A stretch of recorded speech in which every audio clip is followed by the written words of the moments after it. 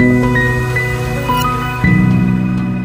दोस्तों, हमारे match box gun को बनाने के लिए यहाँ पर हमें एक पेपर की भी ज़रूरत पड़ेगी। तो दोस्तों, यहाँ पर मैंने एक कलर पेपर ले लिया अगर आपके पास कलर पेपर नहीं है तो आप इसके ऊपर नॉर्मल व्हाइट पेपर का भी यूज़ कर सकते हो, या फिर किसी कॉपी के पेज का भी यूज़ कर सकते हो। तो दोस्तों, सबसे पहले हम लोग इस पेपर का इस तरह से एक रोल बना लेंगे, और इसको हम लोग फेविकॉल की मदद से चिपका के इसको हम लोग फिक्स कर देंगे। तो दोस्तों, आप लोग रोल का साइज़ कितना रखना है वीडियो को आप लोग आगे तक देखते रहिए, आप लोग को पता चल जाएगा। दोस्तों, यहाँ पर आप लोग देख सकते हो, मैंने कुछ इस तरह से इसको रोल को बना लिया अब दोस्तों, इनके दोनों किनारों को हम लोग फेविक्विक पीछे से थोड़ा सा चिपका देंगे ताकि ये थोड़ा सा हार्ड हो जाए। क्योंकि दोस्तों पेपर हम लोग को बहुत ज़्यादा सॉफ्ट है तो हम लोग थोड़ा सा हार्ड बनाना है।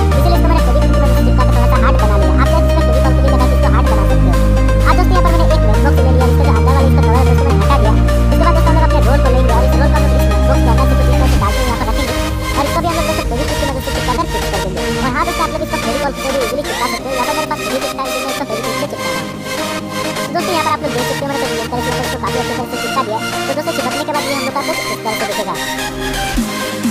तो दोस्तों इसके बाद यहाँ पर मैंने कुछ इस तरह से कार्डबोर्ड को ले लिया तो दोस्तों यहाँ पर मैंने इसको इस तरह से रख दिया ताकि हम लोग इसको अपने हाथ में इजीली पहन सके तो दोस्तों सबसे पहले हम लोग इस कार्डबोर्ड के इस ऊपर वाले लेयर को हम हटा देंगे इसको हटाने के बाद दोस्तों हम लोग का जो ये कार्डबोर्ड है ये बिल्कुल लचीला बन जाएगा बिल्कुल किसी बेल्ट की तरह जैसे कि पर आप लोग देख सकते हो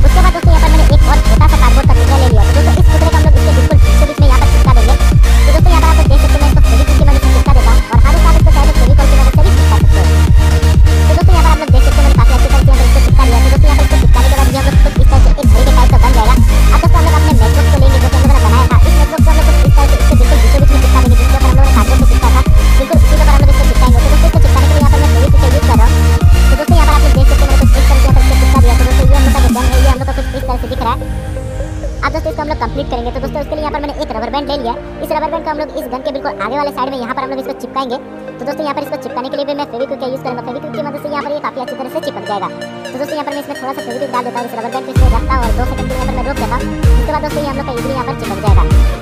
तो दोस्तों यहाँ पर आप लोग देख सकते हो कुछ इस तरह से ये यहाँ पर चिपक चुका है अब दोस्तों इसको थोड़ा सा फिनिशिंग देने के लिए यहाँ पर मैंने एक पतला सा टेप ले लिया दोस्तों इस टेप को मैं यहाँ पर चिपका दूँगा ताकि हम लोग दिखने में अच्छा लगे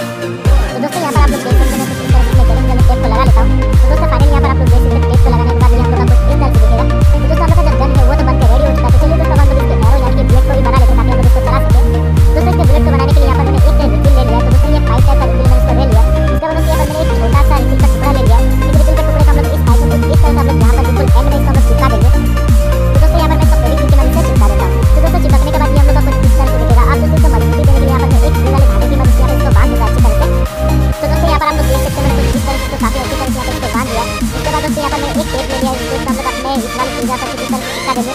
ताकि हम लोग अपने हाथ में पहन सकें तो चलिए दोस्तों इसको हम लोग अपने हाथ में जल्दी जल्दी पहन लेते हैं तो दोस्तों यहाँ पर आप लोग देख सकते हो कुछ तरह से हम लोग इसको पहन लेते हैं दोस्तों इसमें मैंने टेप इसलिए लगाया ताकि हम लोग इसको बाद में इजीली तो दोस्तों हम लोग गन और जो एरो है हम लोग का बन के रेडी हो है चलिए दोस्तों हम लोग इसको टेस्ट करके देखते हैं